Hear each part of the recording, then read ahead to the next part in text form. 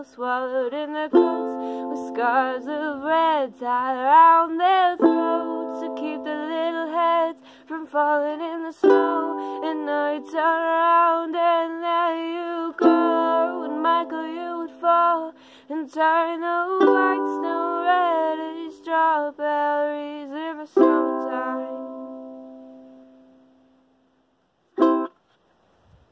I'd do another take, but my hands are freezing.